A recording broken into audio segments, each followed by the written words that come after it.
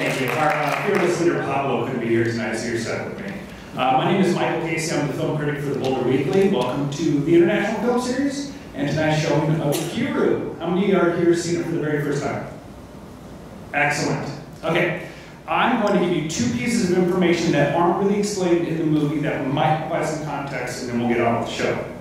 Um, tonight's movie is about a protagonist, Kanji Watanabe, who is diagnosed with stomach cancer and he is going to die. We know this because it's going to tell us at the very beginning. The reason this is important is because in 1952, in Japan, they had a practice of non-disclosure. So if you had cancer, it was a death sentence. You couldn't fight it, there was no cure for it, there was no way to combat it, so the doctors wouldn't tell you you had cancer. They would tell you that you had a mild ulcer and whatever you would like. And that was code for you were going to die in six months. Um, this was a prevailing um, sentiment in Japan up until like the mid 80s, which is why the movie will tell us that uh, Watanabe has cancer, but nobody else in the movie will tell him directly. He's got to figure it out himself. And this is what kind of turns him into this knight of resignation. Um, in the West, we have this ideal that you know if you if you can change your own course of your own fate, of your own destiny, you can fight something, you can find a way out, you can beat the odds. Not the case here, not in Japan, and certainly not for the book that the movie was based off of, which is the Tolstoy novel, The Death of Ivan Ilyich. Um, second point, stomach is very important in Japan.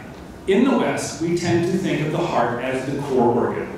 Um, we tell children to follow your heart, to listen to your heart. Um, when somebody, uh, you know, tramples all over you, they break your heart, they pull it out, they, they step all over it. Even though it's an organ that's a muscle of four chambers that just pumps blood, we ascribe a lot of significance to this organ.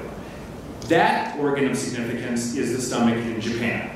So when the movie opens and it shows us an x-ray of a stomach riddled with cancer, it's more than just Watanabe's stomach riddled with cancer. It's actually Japanese society. Uh, Akira Kurosawa and the two writers he's working with, Shinobu Hashimoto and Oragami, are very concerned about where Japan is in 1950. They lost, uh, Japan lost the war in 1945, you have an Allied occupation. Um, but before that, even before they get into World War II, there's this sentiment that Japan might be losing its way.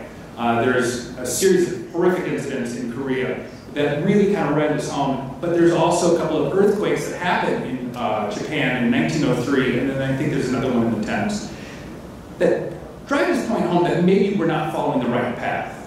So the fact that Watanabe, who is the aging bureaucrat of Japan, has cancer is significant because the young children that you're going to see in this movie who are dressed like Westerners, who are speaking English, who are singing Happy Birthday, and have um, a mechanical toy uh, that is from the West, they're significant because they're not infected by this cancer that is infecting uh, Japanese disease.